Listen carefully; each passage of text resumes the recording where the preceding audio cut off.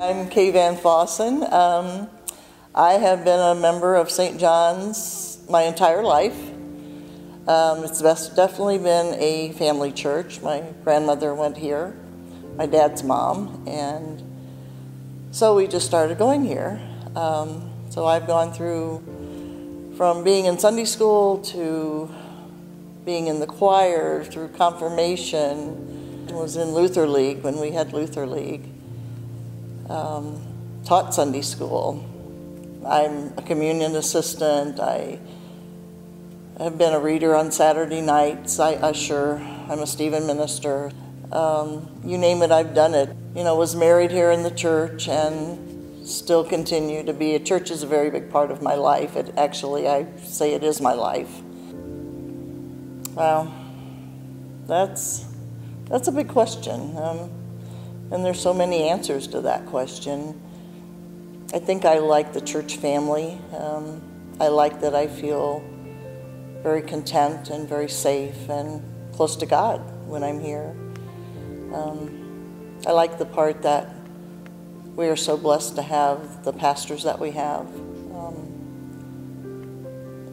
I've seen several pastors, starting with Pastor Oat and Pastor Thompson, Pastor Olson, and first time in our history that we have three pastors, which is just awesome. It shows that our congregation is growing and um, people are growing in Christ.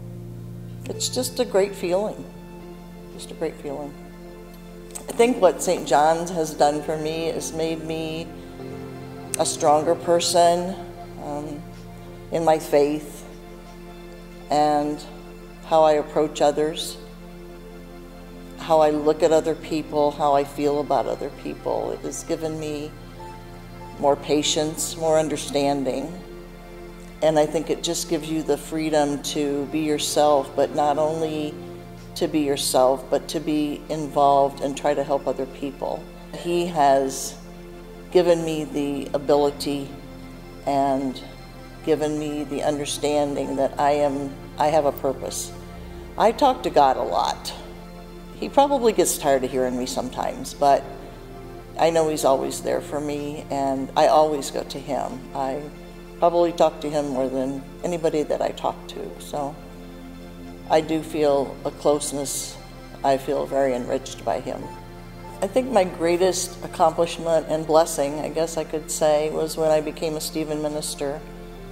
Um, I had been approached several times about it and just kind of blown it off, but I really felt a calling that the last time I was asked that that was the thing I wanted to do.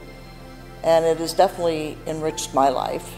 I have come across people in my business that basically are strangers to me and before just listening to their problems was one thing, but now I can really kind of take to heart what they were saying and, and try to give them some help and some guidance. And I've had people come back to me and said they really thankful for that. It really got through to them and helped them out with their situation. So I am highly blessed that I I'm using this gift that I feel God gave me. I just never, never put it to good use before, so now I am.